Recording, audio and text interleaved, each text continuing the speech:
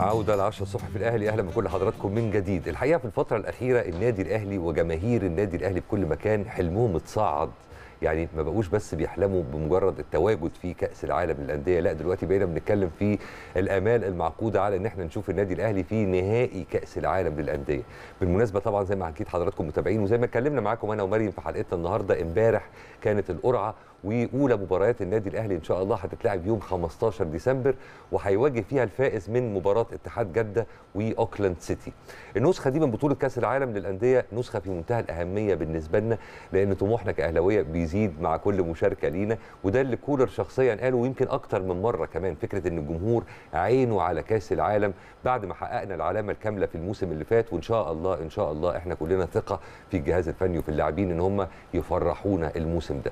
عندنا كلام كتير عايزين نتكلم فيه عن القرعة وعن الأهلي وعن اللي جاي في مشوار النادي الأهلي محليا وقاريا وعالميا مع ضيفنا اللي منورنا الأستاذ كريم فضل الناقد الرياضي صباح الفل عليك يا كريم واهلا بيك معانا صباح الفل يا أستاذ كريم صباح الفل يا مريم. أنا مبسوط جدا أو بكون مبسوط إن أنا بكون معاكم دايما. نورنا. نورنا يا كريم دايما. شفت إزاي القرعة امبارح؟ آه، يعني يمكن فكرة إن إحنا هنقابل الفائز من آه، مباراة أوكلاند سيتي واتحاد جدة. لسه كنا بنتكلم يمكن خلال آه، الحلقة بنتكلم عن فكرة وجود هنا لو قابلنا اتحاد جدة. وهو الحقيقة إن هو أقرب إن إحنا نقابله أكيد. وجود الجماهير في السعودية سواء جماهير السعودية لاتحاد جدة وجماهير النادي الأهلي. في جماهير كتير جدا للنادي الأهلي داخل السعودية. شايف إزاي ممكن تكون المواجهة دي والقرعة بشكل عام؟ آه، هو في البداية خلينا نتفق إن ال- ال- النظام ده متبع آه، منذ فترة يعني منذ آه، تنفيذ البطولة بالشكل الحالي إن بطل أوروبا وبطل أمريكا الجنوبية بيبتعدوا عن المرحلة دي. فبالتالي أنت بتلاعب بطل اوقيانوسيا آه، والمنظم أو الممثل عن الدولة دي. فطبيعي جدا إنك يا هتقابل ده يا هتقابل ده.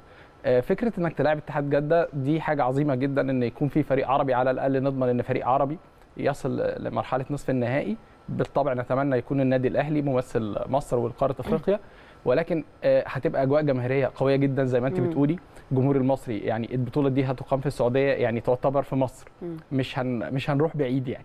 آه، اتحاد جدة فريق كبير وعنده عناصر قوية جدا جدا وعمل تدعيمات كبيرة جدا جدا. لكن يبقى الأهلي آه، بمن حضر. آه، الأهلي أنا لازلت شايف يعني إن هو يمتلك الحظوظ ال- الكبرى إنه يصل للنهائي زي ما أستاذ كريم آه، عمل المقدمة بتاعته. و- و- وده يعني كان ممكن يتحقق في البطولة ال- الماضية وما- والبطولة اللي قبلها. فإن شاء الله الثالثه تبقى ثابته بقى يعني إيه نصل للنهائي المرة دي. إن شاء الله. إن شاء الله. طيب فكرة تعال نقف شوية عند اتحاد جدة تحديدا. وانت طبعا سيدي اللي عارفين الفترة الأخيرة والكلام اللي كان داير عن محمد صلاح و... و... ولاحظنا كمان في الفترة الأخيرة إن نبرة بعض الزملاء الإعلاميين في البرامج الرياضية في المملكة العربية السعودية ابتدت أو البعض منهم ابتدى نبرته تتغير شوية بعد ما بقى في مؤشرات كتير بتقول إن محمد صلاح مش رايح لاتحاد جدة وبقينا نسمع البعض منهم بيقول مش فارقة كتير ما إحنا عندنا لعيبة زي الفل وحاجات زي كده. فالتفصيلة دي ممكن تفرق في ماتش اتحاد جدة مع الأهلي؟ بأي أكيد. حال من الأحوال. أكيد. آه، الجماهير هي الجماهير في أي مكان في العالم. كل جمهور نادي بيحلم إن هو يكون عنده أفضل اللاعبين في العالم. ومين ما يحلمش ان يكون عنده محمد صلاح في فرقته؟ محمد صلاح يعني آه، mega star مش super star عادي. طبعا. طبعا آه، آه، بالفعل كان في ضغوط قوية جدا جدا جدا بتمارس عليه إن هو ينضم لاتحاد جدة بالتحديد سواء ضغوط مالية أو آه، إغراءات أخرى. يعني هيكون سفير هيكون آه، هي في- الحقيقة كل أشكال الإغراءات اتحققت. بالظبط. وأنا بشكل شخصي كنت متوقع ده وقلتها مع حضرتك من لو تتذكر من حوالي أكتر من شهرين مم. لما قلت لك إن في نجوم كتير وهيكون من ضمنهم محمد صلاح.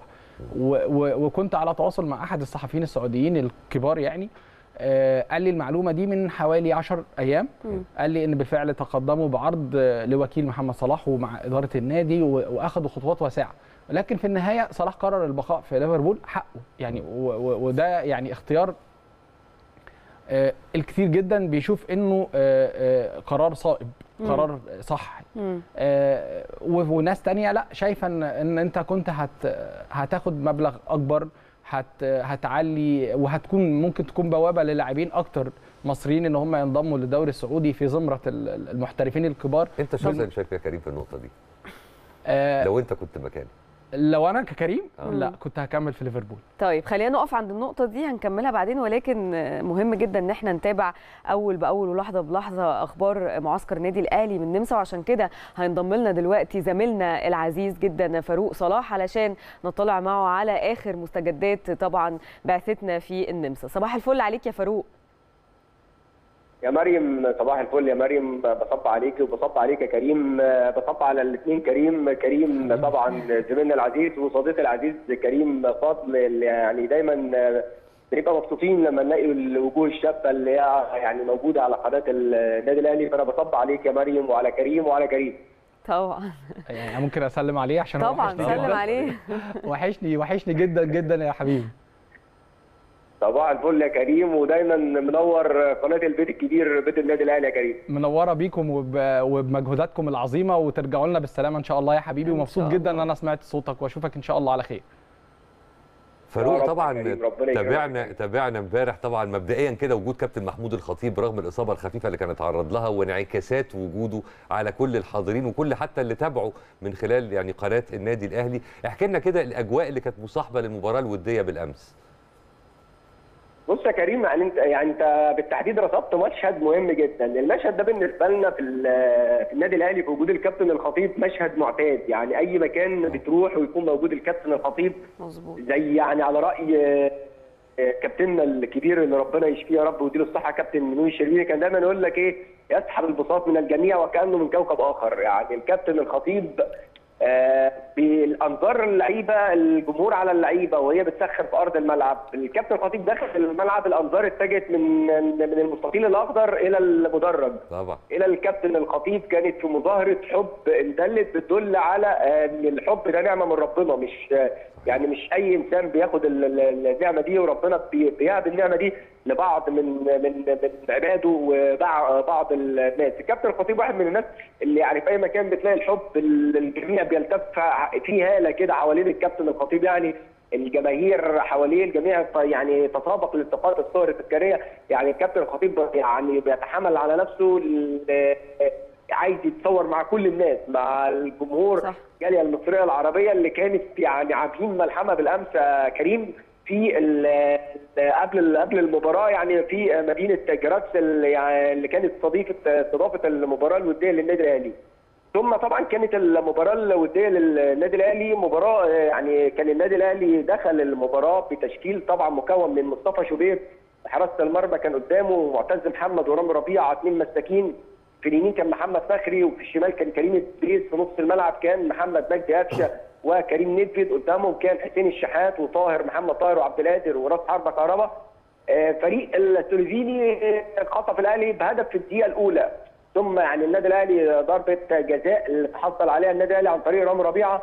أهدرها محمود عبد المنعم كهربا ثم يعني تعادل النادي الأهلي مع نهاية الشوط الأول بهدف ليه يعني هدف يعني هدف من الأجوان الحلوة. الجميلة الكهربا باسيست روعة من قفشة اللي بعتبره من المعسكر واحد من أهم اللعيبة إن شاء الله للنادي الأهلي هذا الموسم. الحالة اللي إحنا شايفين عليها قفشة شايفين عليها معظم العناصر المهمة في في النادي الأهلي بتبشرنا إن المعسكر إيجابياته كتير تفاصيله كتير. ثم في الشوط الثاني طبعا يا مريم إحنا كنا اتكلمنا على الجانب التخصصي في اللي بيشتغل عليه وبالأمس قلنا مع الكابتن إسلام عادل مطور الأداء اللي بيشتغل مع تعلوق الجملة اللي كانت بتطبق في التدريب هي اللي اتطبقت في الملعب. بالظبط. صورة الهدف الثاني هي جملة بالظبط اتطبقت في التدريب. لعبت من خالد عبد الفتاح على القائم الأول قطع زعلوك على العارضه القائم الأول ووضع الهدف من وان تاتش من لمسة واحدة. علشان يضع الهدف الثاني للنادي الأهلي. ثم طبعا كان الهدف الثالث للنادي الاهلي للنادي الأهلي عن طريق صلاح محسن اللافت للنظر يا كريم يا مريم إن الثلاث أهداف اللي أحرزهم من لاعبي النادي الأهلي كان عن طريق راس الحرب عن طريق المهاجم عن طريق كهربا. صلاح محسن زعلوك من فترة طويلة ما شفناش الثلاث تروس حربة في النادي الأهلي بيجيبوا أهداف في مباراة واحدة. فدي كانت من الإيجابيات ومن الأمور اللي إحنا اتكلمنا عليها. ويا مريم إحنا يعني من أول يوم كنت كنت موجود معاكي مع كريم. دايما بنتكلم على إن مستر كولر بيحاول يطور الناحية الهجومية بيحاول إنه ينوع في الناحية الهجومية. نقلنا الصورة للجمهور بكل مصداقية نقلنا التفاصيل اللي إحنا قلناه هو اللي إحنا شفناه في أرض الملعب التفاصيل الفنية اشتغل عليها مستر كولر. آه، مباراة انتهت بشكل كويس جدا. رضا سليم اللي يعني اللي يشوفه امبارح ما يقولش إن دي أول مباراة ليه مع النادي الأهلي. إمام عاشور اللي كان كلام كتير جدا يا مريم واجتهادات إمام مصاب إمام نزل في شوط اللقاء الثاني من البداية. يعني إمام واحد من اللعيبة اللي خطفت أنظار الجماهير في الملعب. آه، إمام بلمساته بتمريراته بقوته. فأعتقد يعني الامام ورضا سليم ندد وصلاح محسن أربع عناصر تم إضافتهم للنادي الأهلي. أعتقد إضافة قوية جدا للنادي الأهلي هذا الموسم.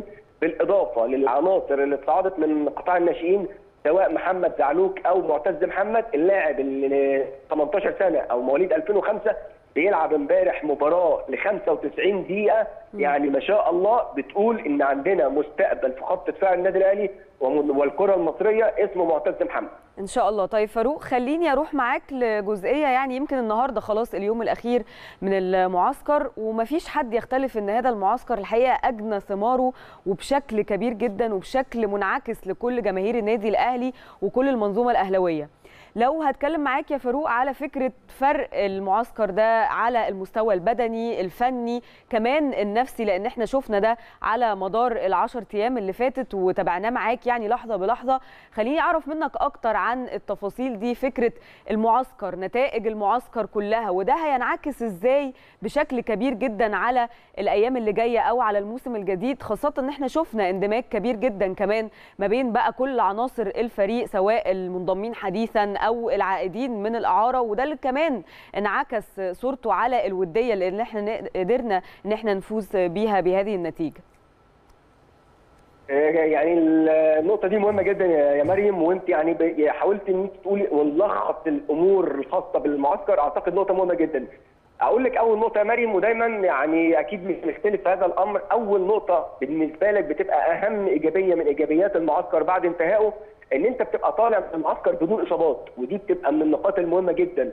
فترة بداية الموسم ومعسكر الإعداد إنك تطلع منه بدون إصابات بتبقى أول إيجابية بالنسبة للمدير الفني بالنسبة للاعبين بالنسبة للجمهور. الحمد لله الحمد لله أنت طالع بدون إصابات.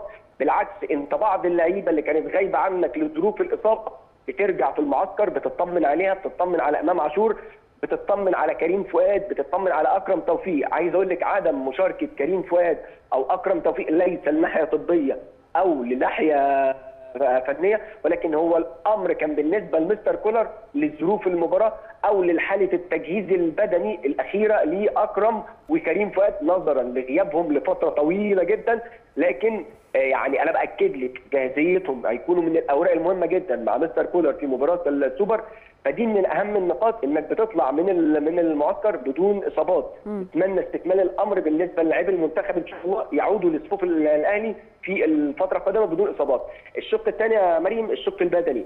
آه، دايما فترة الإعداد بيبقى كل الأمور بتشتغل على الجانب البدني. أنت بترفع الحمل للعيبة خلاص قبل بداية المنافسة بترفع بالحمل بتتدرج بيبقى في تدرج بالحمل بالحمل. ثم بتيجي مع نهاية المعسكر بتقلل الحمل. أعتقد الجانب البدني تم ال- العمل عليه بعنايه وخليني النقطة دي بالتحديد يا مريم الأهلي حضر لهذا الأمر مش من المعسكر ولكن من قبل المعسكر بالقياسات البدنية اللي تم إجراءها للاعبين قبل السفر إلى ال- ال- النمسا ويعني أنا كان لي حديث مع تيتسيان إندويا مخطط الأحمال قال لي اللي إحنا جينا لما جينا نعمل القياسات البدنية النتائج كانت مذهلة للاعبين لأن الحالة اللي النادي الأهلي نهى عليها أو فنش عليها الدوري بدنيا كانت حالة ممتازة جدا. إحنا بنينا على اللي إحنا عملناه. في بعض الأجهزة طبعا اللي تم استحداثها النادي الأهلي مؤخرا. ومجلس إدارة النادي الأهلي لم يتوانى عن إن هو يحضر هذه الاجهزه ساعدتنا كتير جدا في تطوير الناحيه البدنية فأنت بتبني على أساس صح. فده الأمر اللي انعكس على اللاعبين في الناحية البدنية. الناحية الفنية آه، مستر كولر اشتغل على الجوانب الهجومية والجوانب الخططية في النادي الأهلي. النادي الأهلي هيبني ثمار هذه الأمور إن شاء الله بدءا من مباراة السوبر بدءا من يعني من مباراة السوبر وامتدادا على مدار الموسم. النقطة المهمة جدا إضافة مطور الأداء كارلوس في الجهاز الفني للنادي الأهلي. أعتقد هنشوف تأثيرها مش على المدى البعيد لا على المدى القريب والمدى البعيد للنادي الأهلي. لو هت يعني هتقولي تقييم للمعسكر آه أنت استفدت كام؟ أنا يعني من وجهة نظري المتواضعة أنت استفدت ما لا يقل عن 95 أو 100% من من المعسكر، النقطة الوحيدة اللي ممكن يعني تبقى بالنسبة لك نقطة عدم بقاء اللعيبة الدولية لنهاية المعسكر أو للمباراة الودية هي دي النقطة الوحيدة اللعيبة اللي التحق بالمنتخبات الوطنية. لكن ب ب يعني بك- بكافة الأمور معسكر ناجح للنادي الأهلي نفسيا للعيبة. من الناحية البدنية من الناحية الفنية إن شاء الله يكمل على خير إن شاء الله يا مريم ونقدر إن إحنا نبدأ الموسم ببطولة السوبر الافريقي إن شاء الله. إن شاء الله. الحقيقة كلامك كله جميل ومطمئن جدا زميلنا العزيز فاروق صلاح. سؤالي الأخير ليك قبل ما نختم معاك هذه المكالمة وهو سؤال خارج الإطار تماما. يعني عامل حسابنا أنا وأخوك كريم فضل وأختك مريم سبيح في شوكولاتات وحلويات. وأنت جاي ولا ما فكرتش في ده؟ لا فكر والله. سألني قبل ما يسافر؟ سألني قبل ما يسافر والله. ولا. سألتني ولا سألت كريم فضل لا ده أكيد ده أكيد طبعا يا كريم أنت عارف ال- ال- الشوكولاتة دي من الحاجات ال- ال- الأساسية. أنا عندي يعني فريدة برضو عايزة شوكولاتة فانت عارف ال- الحاجات دي ما- حطنا ما في تنساناش بقى مع ما فريد تنساناش وإلا بص يعني شفت انت عارف أول ما جت هن- سيرة هنقول ده في الشوكولاتة أول حصل لقاء إيه؟ لينا بعد عودتك. شفت أول ما جت سيرة الشوكولاتة؟ هرب. فاروق قفل قفل. كل الشكر لزميلنا العزيز فاروق صلاح اللي الحقيقة متألق كالعادة في تخطيطه للفعاليات ولكل لحظة حصلت في معسكر النادي الأهلي في النمسا شكرا ليك يا فاروق. طيب نرجع للشوكولاتة الكلام حلو اللي اتقال ومطمئن اللي اتقال ويحسسك كده إن اللي جاي حلو إن شاء الله وده يخليني أسألك إحنا كنا بنتكلم من شوية بنقول إن جماهير النادي الأهلي في كل مكان طموحاتها اتصاعدت في الفترة الأخيرة وبقينا. دلوقتي مستنيين اللحظة اللي هنقف فيها في منصة التتويج ونشوف فريق النادي الأهلي في اللقاء النهائي إلى أي درجة ده ممكن يكون قابل للتنفيذ؟ إلى أي درجة ممكن ده يحصل فعلا في النسخة دي من آه، كأس العالم للأندية؟ في ضوء اللي أنت شايف عليه آه، لعيبة النادي الأهلي وفي ضوء اللي أنت عارفه عن كل الفرق المنافسة. آه، يعني هو الطبيعي إن إحنا ناخد الأمور خطوة خطوة. يعني ننتظر نشوف المواجهة هتكون مين زي ما قالت مريم الأقرب هو اتحاد جدة. نتخطى عقبة اتحاد جدة ثم نصف النهائي آه، وأعتقد إن شاء الله يعني هيكون نهائي بين الأهلي ومانشستر سيتي. آه، ناس كتير بتقول اتحاد جدة بالصفقات الجديدة بالمحترفين. آه، لا الأهلي آه، يقدر يتعامل مع المباراة فنيا بشكل كبير. الجمهور هيساعد آه، بشكل قوي جدا. آه، يعني أتمنى بس تكون اللجنة المنظمة تراعي إن يكون في عدالة في توزيع المقاعد ما يكونش لصاحب الأرض العدد. الأكبر لأن لو الأمور تم طرحها بشكل مبكر يعني الجمهور المصري مش الأهلاوي فقط الجمهور المصري هيحتل الملعب لا أنا عايزة. أتخيل معاك يا كريم لو حصل المفاجأة خلال ال 24 ساعة اللي جايين دول في صفقة محمد صلاح واتحاد جدة مع ليفربول فكرة انضمامه لاتحاد جدة وإن هو يقابل النادي. الأهلي طبعا. دي غالبا هتبقى المواجهه. الثالثه على ما أعتقد. يعني أنا مش متأكدة قوي من المعلومة بس في ممكن إيه؟ يكون في كأس العالم؟ لا مش كأس العالم للانديه عموما. آه، صلاح إن هو يواجه النادي الأهلي مع فرق أخرى. كان آه، لا لا هو سبق واجه النادي الأهلي مع المقاولين. آه وسجل في مرمى النادي الأهلي. مظبوط. وواجه بس الأهلي ده كان وضع وديا. ثاني يعني وزمن في الدوري. آه آه. آه، واجه الأهلي وديا مع فريق روما. روما، صح، والأهلي مظبوط حقق كده. الفوز آه، بنتيجة أنا 4 عمالة 3 أتخيل معاك فكرة وجود صلاح قدام الأهلي يعني لو حصل مفاجأة خلال 24 ساعة اللي جايين دول يعني الأهلي ال- صلاح لعيب كبير طبعا طبعا. نجم عالمي ولكن هي مش بتتحسب كده يعني مم. بتتحسب آه، بمنظور آخر يعني في في تاكتكس بتتعمل في طبعا. الملعب آه، لرقابة يعني حتى كان صلاح موجود كريم بنزيما وموجود آه، يعني لا اتحاد جده فريق قوي حتى مم. من غير وجود صلاح. مم. أكيد وجود صلاح هيضيف لهم إضافة فنية كبيرة وعظيمة آه، في الجانب التهديفي والسرعات بشكل كبير. آه، لكن يبقى الأهلي بمن حضر. آه، الأهلي يقدر يتخطى عقبة اتحاد جدة في وجود الع- العناصر المحترفة طبعا. ايا كانت الأسماء. لأن هم يعني على الصعيد الفني عندهم مشاكل داخلية زي أي فريق في العالم يعني. ما فيش فريق بلا أخطاء أو بلا عيوب. آه، وذكاء المدير الفني إن هو يستغل هذه الأخطاء لصالحه.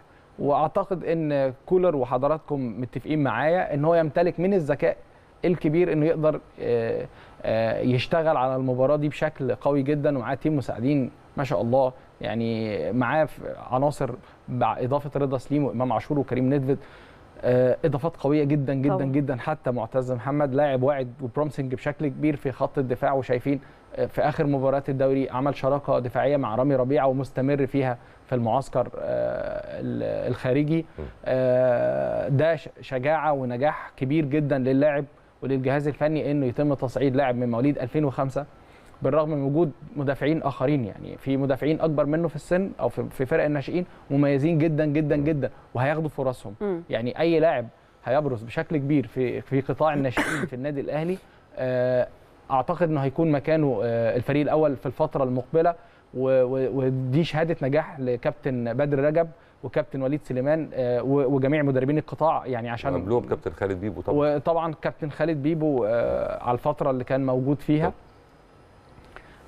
ده كويس جدا. يعني. إنك تشتغل على إنك تعمل تدعيمات خارجية ممثله في رضا سليم وإنك ترجع بعض العناصر اللي تم اللي كانت مميزة آه، في الإعارة زي كريم ندفد أو لاعبين آخرين. محسن. زائد آه بالظبط صلاح محسن. زائد إنك تطلع وتخرج من قطاع الناشئين اللي عندك ده نجاح كبير جدا. طبعا. أنت بتعمل عملية آه، إحلال وتجديد داخلية. يعني أنت مش بتخرج عناصر أنت بالعكس يعني أنت بتدخل عناصر آه، تضيف طبعا آه، وبتصعد كمان من. قطاع قوي جدا انت امبارح أكيد تابعت. المباراة 8-0 في آه، ضربة. بطولة الجمهورية بالظبط، 2005 آه، فأكيد 2005. بيصعد عناصر قوية آه، يعني آه، الفريق ده فيه عناصر كتير جدا قوية طبعا. آه، واشتغلوا من فترة طويلة آه، عليهم وهنشوفهم قريب جدا جدا جدا مع الفريق الأول مم. في أكتر في كمان يعني فريق 2006 برضو كويس جدا فريق 2003 بدأ بداية جيدة وحقق الفوز برضو على فريق البلدية مم. فبالتالي في خطوات آه، مبشرة يعني طبعا. مبشرة بلس إنك زي ما قلت لحضراتكم إنك بتنزل بمعدل الأعمار وده مهم جدا طبعا يعني أنت بتشتغل واللعيبة اللي بيرجعوا لك من اعاره بيرجعوا ناضجين فكرة الإعارة في حد ذاتها ده يعني مفيدة جداً. بصراحة مفيدة جدا آه. يعني أندية زي تشيلسي وأندية زي مانشستر سيتي وأندية زي برشلونة وريال مدريد حتى استفادوا منها يعني في خلال السنوات بس ده- ده الأخيرة ما. يمنعش برضو إن في بعض الأحيان ممكن يبقى في جماهير عندها تحفظات يعني يقول لك ليه نعير اللاعب الفلاني ما يبقى معانا آه، بص فاهم قصدي هي نظر هي وجهة. نظر فنية بحتة بتقول إيه؟ أنا أنا عندي لاعب زي معتز أو زي عبد الله بستنجي مدافع عظيم مدافع رائع جدا مواليد أيوة. 2005 تم تعارضه لفريق سموحة وهنشوفه السيزون ده من النادي الأهلي. آه، بتبقى حظوظه قليلة جدا في اللعب لأن أنا عندي لاعب أساسي اسمه محمد عبد المنعم ولاعب أساسي ياسر إبراهيم. بالإضافة طبعا لمحمود متولي ورامي ربيعة. دول لعيبة كبار ولكن أنا بلعب باثنين بس. فانا عندي أكتر من مدافع. طيب حظوظ لاعب زي عبد الله هتكون قليلة جدا إنه يلعب. طيب يروح فريق آه، قوي يشارك ويستفيد ويتم صقل خبراته ويرجع لي تاني ولا يفضل عندي وما يلعبش مم. الأفضل إن تتم- إعارته. فبالتالي ده أو دي خطوة كويسة جدا اللي كان مزعلني بشكل شخصي إن اتحاد الكرة قرر إنه يقلل عدد الإعارات لخمس لاعبين فقط مم. في حين إن دوريات أوروبية كبيرة بيبقى العدد مفتوح أو العدد أكبر من ده طب ليه انت ما بتراعيش ده أو ما بتبصش على ان في استفادة بتستفيدها الفرق؟ أنا مش بتكلم على الاهلي أو فريق بعينه. أيوه كل الفرق المصرية تقدر تستفيد آه، لأن إحنا يعني ال- المواسم بتبقى مضغوطة المراحل العمرية بتدخل في بعض بشكل سريع انت طبعا بتشتغل على ال- ال- المنتخبات اللي بتكون بتشارك في بطولات عالم أو أو أولمبية بتهتم بيها بشكل أكبر. طيب المرحلة الأصغر يعني فريق زي 2006 في لاعبين من النادي الأهلي ومن نادي الزمالك ومن الإسماعيلي ومن بيراميدز ومن كل الفرق تقدر تلعب فريق أول. طيب لما تلغي الفريق بتاعهم بي- بيحصل إيه؟ بيتسرحوا. فالأفضل ليهم إن تتم اعارتهم يستفيدوا فنيا وماديا والفرقه بتاعتهم تستفيد. فأنا كنت أتمنى من اتحاد الكورة يراعي النقطة دي بالتحديد. بلاش خمس إعارات فقط. طيب قبل ما نختم معاك سريعا يا كريم عايزين نتكلم بقى عن مواجهات الأقرب يمكن إحنا اتكلمنا عن كأس العالم للأندية لسه إن شاء الله هتقام في شهر ديسمبر ولكن. خلينا في المواجهات الأقرب السوبر إفريقي و super Super League. كمان يعني المواجهات سواء أمام اتحاد العاصمة الجزائري أو كمان سيمبا. التنزاني لأن يمكن إحنا اتكلمنا خلال الحلقات اللي فاتت عن فكرة بعض الناس شايفة إن مواجهة سيمبا هتبقى سهلة ولكن على الجانب الآخر هي خالص. مش مواجهة سهلة ابدا خالص. فخلينا نتكلم على الجزئيتين دول تحديدا بصي آه، طول عمر المواجهات المصرية الجزائرية معروفة مهما اختلف طبعاً. المستوى. طبعاً. يعني ده تاريخ وبيبقى لها حسابات أخرى وبيبقى لها آه، ظروف مختلفة خالص. اتحاد العاصمة واحد من أكبر الفرق الجزائرية. طبعا. وخلال الميركاتو الحالي عمل تدعيمات كبيرة جدا وقوية جدا. يعني أي حد بيتابع الكرة الجزائرية عارف ده بالتحديد إن في ثلاث فرق في الجزائر عملوا أقوى ميركاتو من ضمنهم اتحاد العاصمة وطبعا مولوديه طهران وبيجي بعد منهم آه، فريق كبير بطل الكونفدرالية بالتالي بتلعب على بطولة وبطولة من ماتش واحد يعني لا يعني ما فيش هينزلوا مجال طبعا. للخطا ما فيش مجال للتعويض. فبالتالي الم- المباراة دي آه، لها حساباتها الخاصة. ممكن ما نتكلمش فيها كتير لأنها زي ما قلت لحضراتكم بتخلص من مباراة واحدة. لكن لما نروح لمباراة سيمبا وال Super League والبطولة المستحدثة اللي يعني آه، ناس كتير كتبت إن يلا يا كولر ضيف بطولة جديده لدولاب بطولاتك. آه، سيمبا عمل حوالي 8 تدعيمات من ضمنهم آه، التعاقد مع أغلى صفقة في تاريخ الدوري التنزاني وتاريخ سيمبا آه، والمثير إنها صفقة حارس مرمى من الدوري المغربي. plus إن هو عمل صفقات آه، من من الكونغو من الكاميرون عمل تدعيمات كبيرة جدا. وأي حد متابع كرة إفريقية عارف إن سيمبا بالتحديد من الفرق الغنية يعني يقدر يعمل صفقات بمبالغ كويسة. يعني أنا يعني حد يتخيل إن فريق في في الدوري التنزاني يعمل صفقة بمليون ونص دولار. ده رقم كبير جدا. هو عمل ده. إيه، بيرقصه طبعا رجل أعمال يمتلك قدرات مالية كبيرة بلس إن هو عنده عناصر كلنا شفناها في البطولات الإفريقية الأخيرة وكان بيوصل لدور الثمانيه وقريب من دور الأربعة فبالتالي فريق عنده قوة وعنده وفرة من العناصر سواء اللي بتلعب في منتخب تنزانيا أو اللاعبين اللي, اللي بيلعبوا في منتخب زامبيا بالتحديد لأنه عنده أكتر من عنصر. plus يعني بيراميدز تعاقد مع آه، لاعب من من الدوري التنزاني من بس من المنافس اللي هو يانج افريكانز. فالعين بقت عليهم بشكل أقوى. والكرة التنزانية كرة يعني معروفة إنها كرة مهارية شوية يعني. قريبة مننا. مش مش أفريقية اللي هي القوة واللياقة وال وال والداشنج يعني الماتش بس- مش بالسهولة اللي البعض من على الناس لا كمان في نقطة. إن سيمبا الفريق الوحيد في قارة أفريقيا اللي فاز عدد مباريات زي عدد مباريات الأهلي في المواجهات المباشرة يعني مم. لعبوا ضد الأهلي ست مباريات كسب ثلاثة كلهم في ملعبه والأهلي كسب ثلاثة طبعا فروق الأهداف بتبقى لصالح الأهلي ولكن مم. قدر يكسب الأهلي على مدار التاريخ ثلاث مرات فده يعني بيقول لك إن في آه لا مش ما. ايكوال ما يعني اوعى مباراة. متساوية آه بالظبط. إنما فكرة اصله سيمبا والأهلي آه طبعا في فروقات كبيرة جدا في الاسم والتاريخ والخبرات بس على أرض الملعب أنا شايف إن إنها مش بعيدة مم. ولازم إن الأهلي يكون أقوى وأعنف وأشرس عشان خاطر يحقق بطولة جديدة تضاف تضاف لدولاب بطولاته و... وال... يعني ال... إنها البطولة الافتتاحيه إنك تكسبها آه، دي برضه دايماً حاجة عندنا بيبقى على بالظبط نسخة من أي يجيب بطولة. بطولة زي دي. آه بالفعل. ال- ال- مظبوط. ال- إن شاء الله الكاف لو كمل ان شاء الله الكاف بيقول إن آه، البطولة دي لو استمرت. هتصل يعني خلال أربع نسخ هتصل ل 100 مليون دولار فزي حلوين. يعني- زي الفل. الفل. إحنا بنشكرك على وجودك معانا يا كريم. ميرسي، نورتنا. ربنا وعسلامة. يخليك. نورتنا يا كريم. ميرسي لحضرتك. واكيد الشكر موصول لمشاهدي قناة الأهلي في كل مكان. على حسن المتابعة إن شاء الله يتجدد اللقاء ونشوفكم على خير يوم الأحد الجاي بإذن الله. weekend سعيد للكل وصباح الفل.